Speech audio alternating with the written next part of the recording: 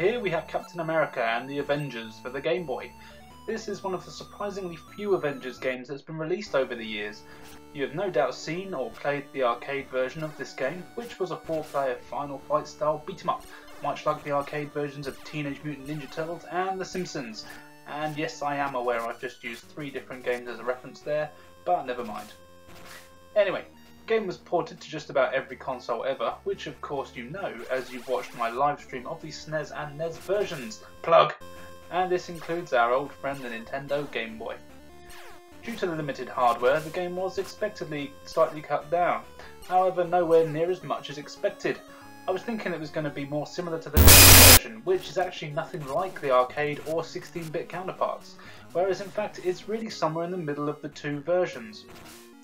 It is still a beat 'em up and follows the same story as the arcade, with the Red Skull generally being a bastard and forcing the Avengers to have to stop him. You also get to choose from the same four characters from the 16-bit and arcade games, as opposed to the two that you only get to play as in the NES version.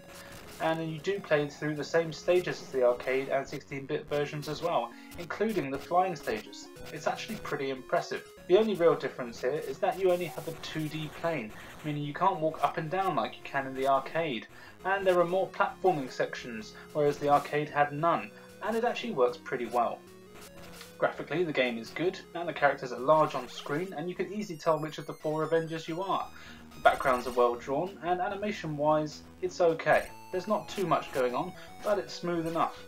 You do get a fair bit of slowdown when there are a few things going on at once, but again, for the Game Boy, that is to be expected. Something that is a bit of a shame is that all of the characters are exactly the same apart from the way they look. They can each punch, jump, and jump kick, and they have projectile attack. So Cap throws his shield, Hawkeye uses his bow, and Vision and Iron Man have energy attacks. But there's actually no difference between any of them.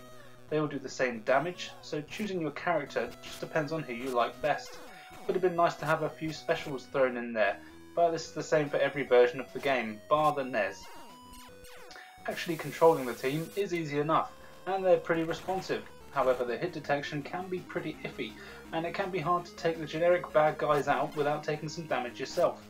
However, when you learn about the jump kick and spam that, it makes it a little easier. Sound and music wise, the game does the job. The music can be a bit high pitched, but it doesn't really grate too much. Overall, this is a good game.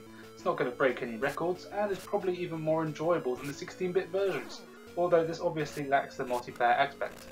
But for a handheld, and considering the surprising lack of Avengers-based games, this is not a bad one to add to the collection.